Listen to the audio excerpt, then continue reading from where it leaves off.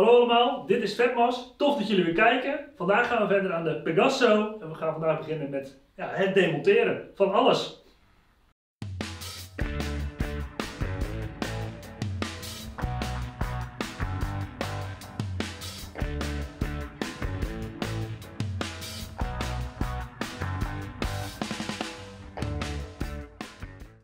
Nou, de Pegaso. Hij staat weer klaar om gedemonteerd te worden. Um, benzinetank gaan we eraf halen, het zadel eraf halen, vervolgens heel het motorblok loshalen, uitlaat eraf, carburateur eraf. Dus we gaan het volledige motorblok onder de motor uithalen. Nou, wat ik net zei, we beginnen daar aan de Pegaso. We hebben vandaag weer uh, Chef, die is er ook bij, die filmt vandaag. Hoi Chef. Thanks Chef. ideaal dit. Ja, ideaal. Dus uh, we hebben nou een mooie filmman erbij. Ja. En uh, als het goed is komen daar misschien nog een aantal meer mensen, maar die komen ja, toeschouwers spelen. Die vonden het leuk om live erbij te zijn. Dus ja, we gaan beginnen. Yes, top.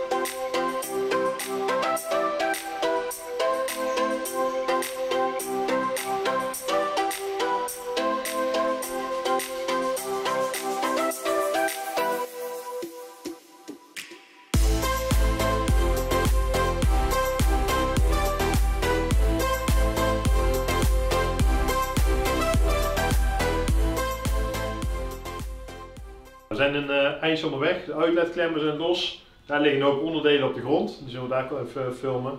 Ik heb net de aftapplug van de olie aan de onderzijde losgehaald.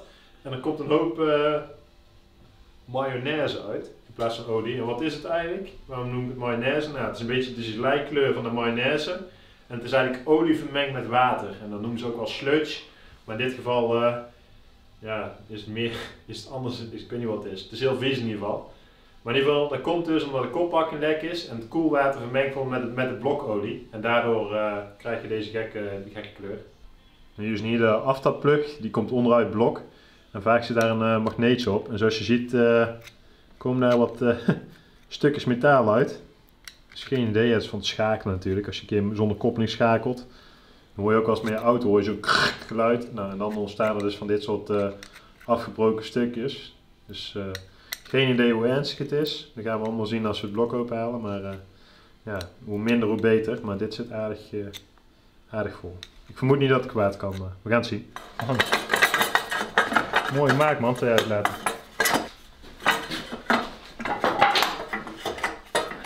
Ja. Hoppa.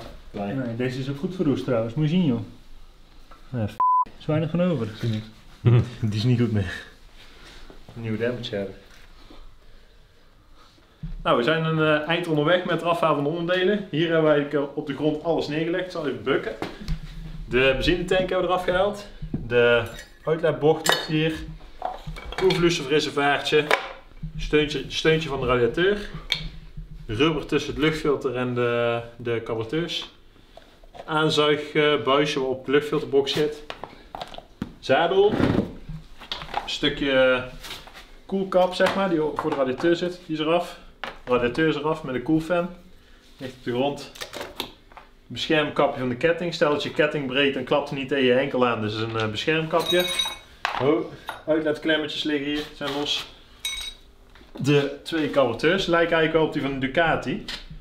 Er staat hier ook Mercuni op, dus je kan eigenlijk, uh, ja, als je onze video van de Ducati kijkt, kun je mooi zien hoe zo'n ding helemaal aan de binnenkant uh, eruit ziet. Dat is zeker een aanrader. Zullen we al zien boven of hier rechtsboven wel even neerzetten schakelpookje. Die is eraf. Dat is dadelijk makkelijker als blokkrabbers, dan kunnen we mooi neerleggen. Skidplate, die zit onder, uh, onder het motorblok, eigenlijk als een zand tegenaan spellen, dat die uh, niet heel blokvel maakt. En de voorbocht, die ziet er eigenlijk mooi uit. De bocht op de motor was iets meer verrot, dus die is wat, uh, wat minder, maar deze ziet er mooi uit. Misschien gaan we sowieso een keer spuiten, maar dan kijken we even. Dan bij de motor, als we hier deze kant kijken, Eigenlijk is alles los. Heel het koelsysteem is eraf. Koppelingskabel is eraf. Koppelingshevel is eraf. De bouten aan het frame zijn eruit, waar het blok in het frame hangt. Hieronder zitten nog twee bouten waarmee die achter vast zit. En hierboven zit nog één bout. En die gaan we nu loshalen en dan uh, kan het hele blok onderuit. Dus uh, dat zal het volgende zijn wat jullie krijgen te zien.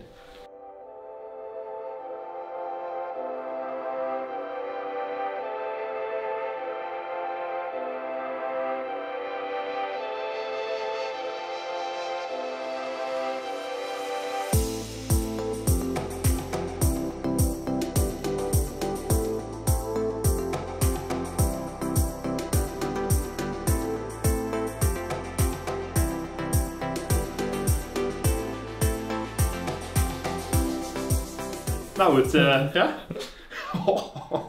ja, dat komt er goed. Ja, ja. Ja? Oké, okay, nou, het motorblokje is eruit. Motorblokje. Ik denk dat die uh, kilo of 40, 50 weegt.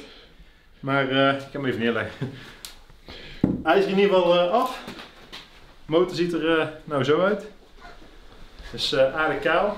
Normaal hangt hij hier zo, hier zo in. Dus ja, daar weinig meer over. En voor de rest, uh, ja, dus de speel die op de grond liggen, eigenlijk is alleen het subframe bijkomen. Dus die, uh, ja, die is eraf. Ik zei net bouten van het blok, maar zijn eigenlijk subframe bouten. Maar goed, dat is een detail. Dus uh, die is eraf. Ja, wat we nu gaan doen is even het subframe terug eronder zetten. Dus dit frame gaan we heel even snel gewoon met bouten losser eronder zetten. Dus zo. Zodat ja, eigenlijk een beetje sterkte meer terug heeft. Kunnen we daar ook al onderdelen een beetje in leggen.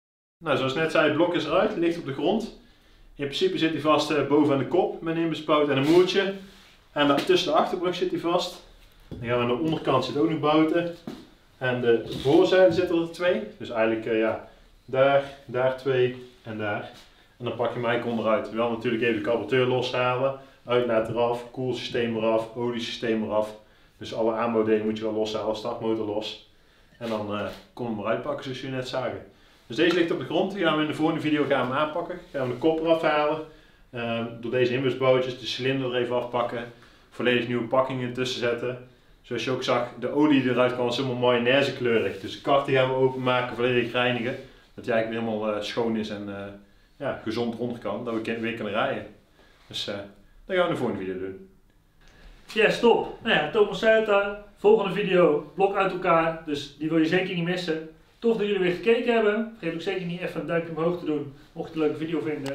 Heb je nog tips of opmerkingen, laat ze dan even in de reactie hieronder achter. En uh, vind je het echt heel erg leuk, wil je de rest ook zien, vergeet dan ook zeker niet te abonneren. Tot de volgende keer, hoi hoi! Hey.